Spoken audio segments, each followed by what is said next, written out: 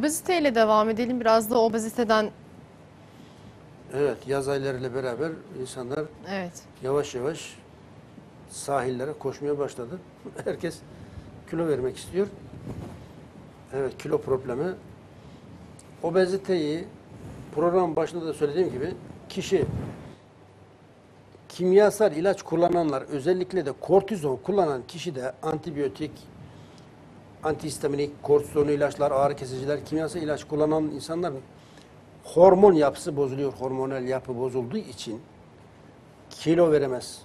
İstediği diyeti yapsın. Nasıl zayıflayacak? İşte bu kimyasal ilaçların vücuda vermiş olduğu tahribatı önlerse bir detokstan geçmesi gerekir kişinin ki kortizonun an- antibiyotiklerin vermiş olduğu tahribatı, hormon anormalliklerini ortadan kaldırmak için zayıflayamaz. Zayıflasa bile kişi diyeti bıraktığı zaman 30 kilo vermişse 40 kişi tekrar alır.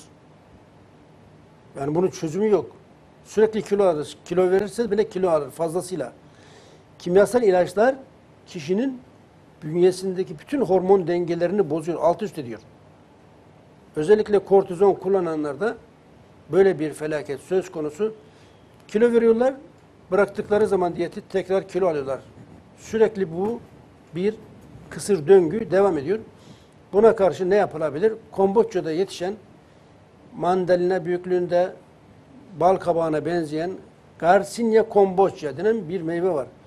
Bunun birleşimindeki hidrositrik asit hamurlu tatlı yediğinde kişi bu hamurlu tatlıyı yani glikoz içeren her şey karbonhidratlar şekere glikoza dönüşür. Şekeri her şey bünyemiz yağa dönüştürerek depolar. Bu dönüşümü sağlayan bir enzim var. Asetil koenzim. Bu enzimi Garcinya'nın birleşimindeki hidrositrik asit frenler. Böylece Garcinya kullandığı zaman kişi problemsiz zayıflar çünkü istese de fazla yemek yiyemez. Erken doyar. Ve fazla yemek yemediği için de yavaş yavaş zayıflar. Evet, verdiğiniz bilgiler için teşekkür ediyoruz. Biz de programımızın sonuna geldik. Dediğimiz gibi pazartesi, çarşamba ve cuma akşamları saat 20.30'da sizlerle olmaya devam edeceğiz. İyi akşamlar.